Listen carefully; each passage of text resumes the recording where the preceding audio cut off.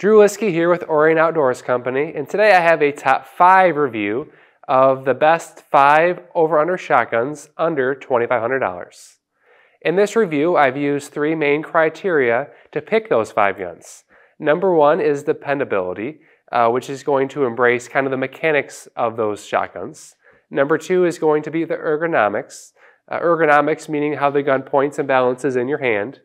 And then number three is going to be aesthetics, aesthetics being the engraving, uh, the level of wood, and the attention to detail on the gun as a whole. Let's take a look.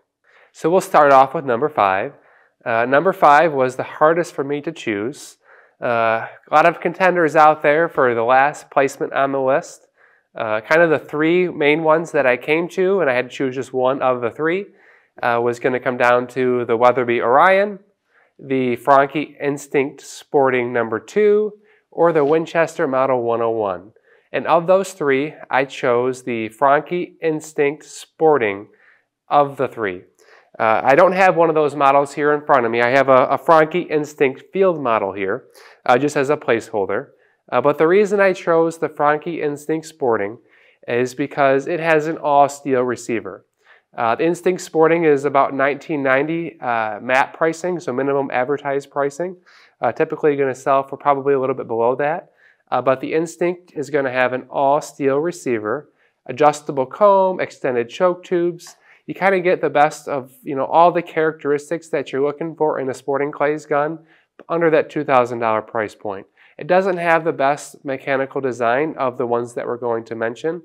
Uh, aesthetics are pretty simple and plain on the Franchi Instinct Sporting. Uh, in addition, uh, it doesn't have the best pointability, necessarily, uh, but in terms of adjustability, in terms of having you know a strong locking mechanism, uh, the Instinct Sporting from Franchi, uh, which is imported by Benelli USA and serviced by Benelli USA, is really a good option for an over and under under that $2,500 price point.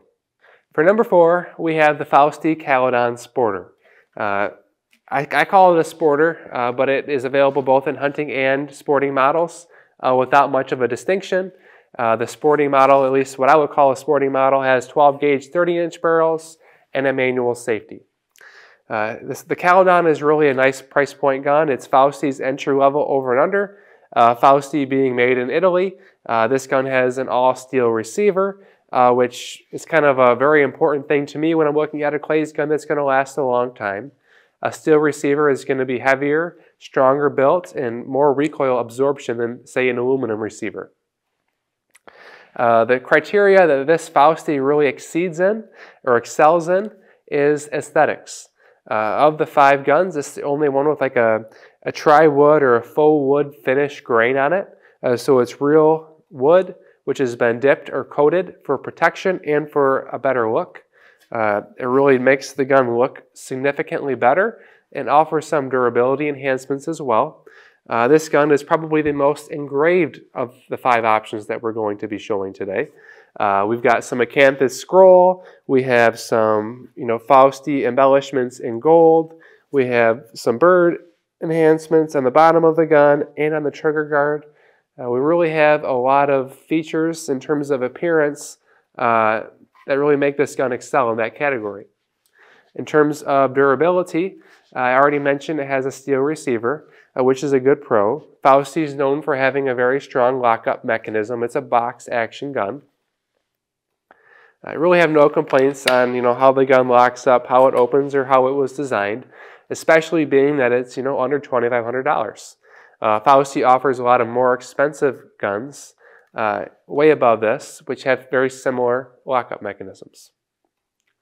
And the last bit that we talked about was ergonomics, how the gun balances and weighs. It's about seven and a half pounds, uh, a little bit barrel heavy, a little bit of a thicker forend than I would like, uh, but it definitely has a nice feel to it. It's relatively well balanced, uh, within a couple inches of the hinge pin. Uh, the gun has a little bit of a heavy trigger, around six and a half pounds. Uh, so that's one thing that it may not excel at as well as some other guns that we're going to be showcasing. Uh, it's kind of heavy of a trigger pull. Definitely not as bad as a lot of cheaper guns. Uh, but that's kind of all the criteria on what makes the Fausti Caledon a great over and under under $2,500. Number three on our list is the Rizzini BR110 Sporter. Also made in Italy, uh, the Rizzini BR110 Sporter is definitely a purpose-built shotgun. It has a nice appearance, though relatively bland in general. Uh, Rizzini definitely focused more on making this a very functional, strong-built gun as opposed to putting a lot of their funds and, and attention onto the detail of the engraving. We have a matte finish, black or grayish look to it. Uh, kind of what you would expect to see like a, like a gray Cerakote style receiver. It is an all steel receiver, uh, though we do have some high gloss blued finish touches on the trigger guard as well as the top lever. Uh, the barrel itself is also more of a matte finished look. Uh, like I mentioned, the Rizzini is kind of in a monochrome uh, laser engraving on the actual receiver itself. Uh, this is the only black receiver gun that we're going to be featuring, so definitely is a little bit unique. Uh, they tend to put a little bit nicer pieces of wood with a better oil finish on it than some of the other makes at this price point. Uh, definitely their oil finish. Uh, they spent more time on it than a lot of the other manufacturers under that $2,500 price point. Uh, so he's hit up the aesthetics of the gun quite a bit already. Uh, let's talk about durability. Uh, so the Rizzinis are known uh, for making a good box lock style gun, and the majority of their models are based on the same system that we see here in the BR110 Sporting. It's a very strong lockup, and you can definitely feel in your hands when you open and close it. It just feels robust, you know, durable. Uh, the receiver is significantly wider and heavier uh, than some of the cheaper entry point guns that you might see on the market, made in Turkey, for example. Uh, I really like the fact that it has a, a, steel receiver. I've mentioned that a whole bunch of times, but whenever you're looking for a clay target gun, preferably look for one with a steel receiver. Uh, in terms of balance point, we'll get into ergonomics a little bit. Uh, the Rizzini balances very nicely just forward of the hinge pin. Uh, we can see that here. Uh, one of the things that they've done to make the barrels not as heavy, though being 30 inch or 32 inches long, is they have a ventilated top rib and a ventilated mid rib. We have a Bradley style front sight and extended choke tubes on the Rizzini BR110 Sporter, uh, which very few guns at this price point offer. Uh, so it kind of gives you all the accessories that you need out of the box uh, to make it a great shooting sporting clays gun. In addition, you may notice this stock is a little bit different. This is a compact youth or lady style stock. Uh, they offer this model with both the youth stock and the full length stock and left or right handed. Uh, so it's kind of the, the first manufacturer that you're going to reach in the $2,500 price point or less uh, that's going to give you the options to have a true left-handed gun, a true right-handed gun, or a compact stock. Uh, for those reasons, it's very adjustable, uh, very modular to different types of people. I'm definitely a fan of this gun. Uh, a lot of people shy away from it because of the look, because it's not as, as flashy as some of the other options. Uh, but in terms of the durability of the gun, uh, you get a lot for your money with the Rizzini. Number two, the Citori CXS. Uh, so the Browning Citori crossover series is their entry point uh, dedicated clays gun. Uh, they offer the Citori crossover in a CXS, which is shown here.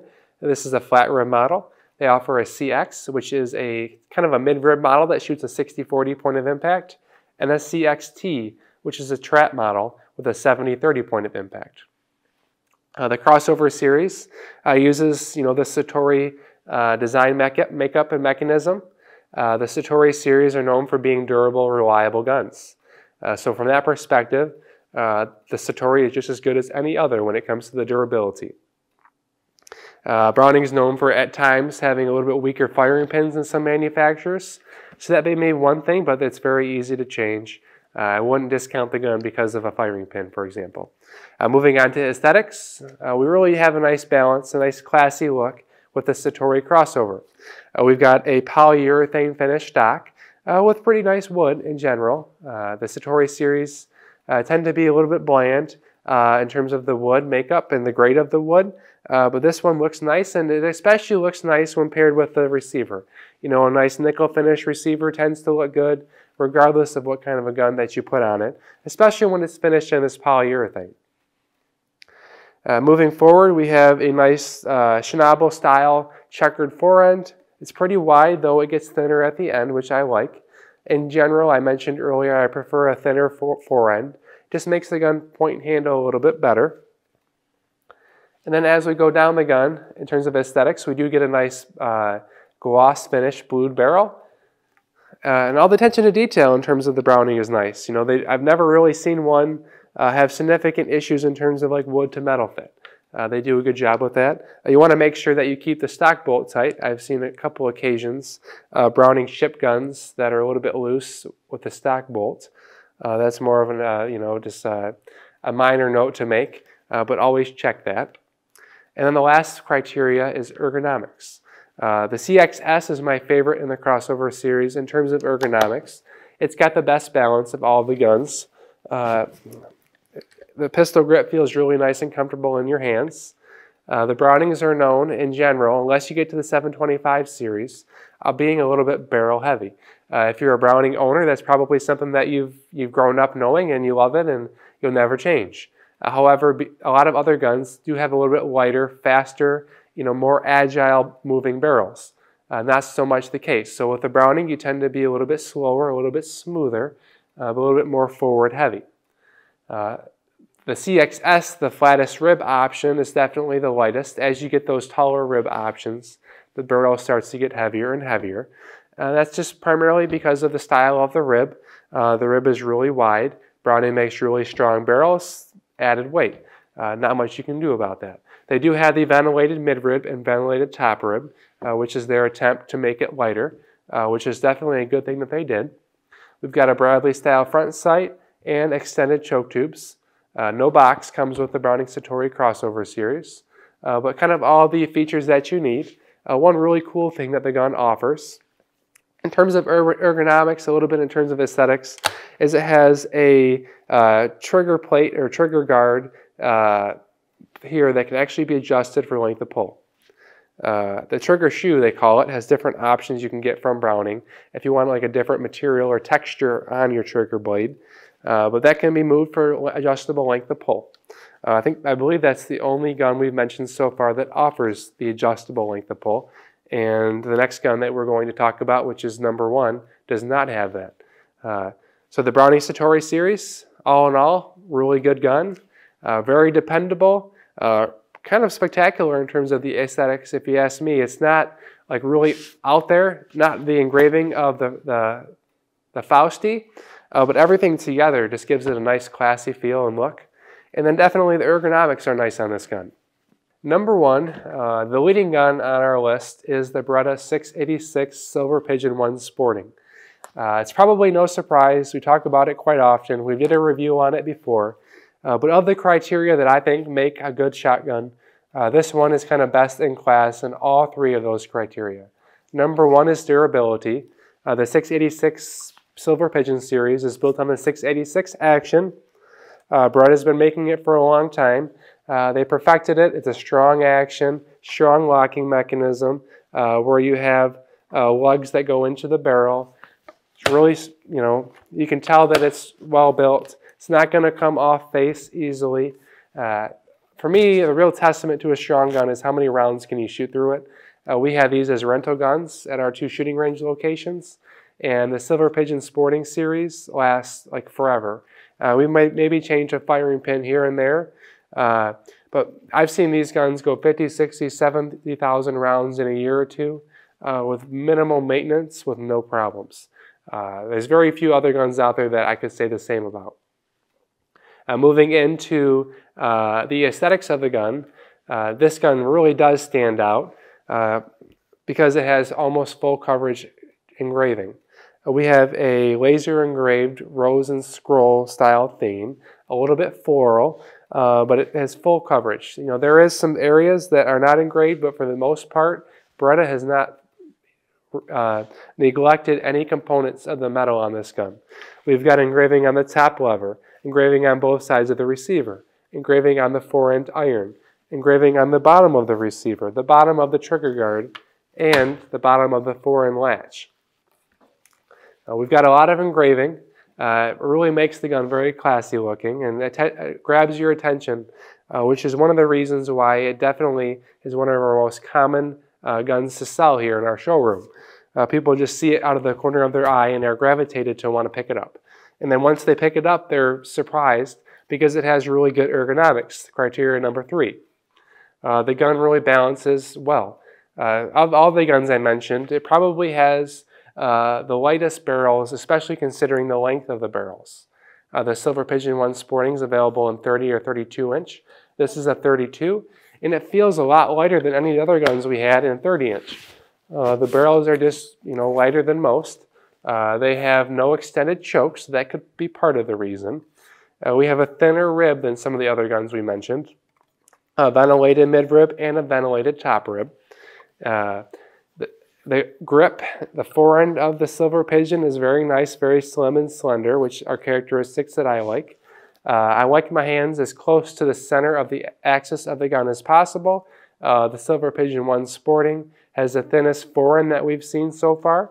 It also has a full coverage forend checkering, kind of similar to the Rizzini uh, which I'm preferential to, especially if you're shooting in all different types of conditions. It's going to give you a great grip on the gun. Pistol grip is standard, comfortable. Uh, one other thing about ergonomics is the adjustability of the gun. Uh, adjustability in terms of what you can buy. Uh, they offer this in left-handed configuration and right-handed configuration, which is what this is, as well as in their Vittoria or their compact or lady style guns. Uh, so we've got a lot of different options. Uh, kind of the best that Rizzini offers as well as what Beretta has to offer, kind of all combined together in one gun. And that's the Beretta 686 Silver Pigeon 1 Sporting. And that concludes our review of the top five over-under shotguns under $2,500. If you own one of the guns we've mentioned, we'd love to hear your comments, positive or negative, about them. If you own a gun that was not in the list, we'd love to hear about it too. We may be able, able to take it and, and do a review and feature it in an upcoming video. Speaking of upcoming videos, we have one that's coming up soon. It'll be the top 10 sporting clay shotguns over $2,500. Uh, it'll be one that will be released soon. Uh, in order to find out when it's going to come and to be alerted when it does get launched, uh, we really recommend that you like and subscribe to our channel. It means a lot to us to know that you support us and that you want to see our future videos. Thank you very much. We appreciate your time. Have a great day.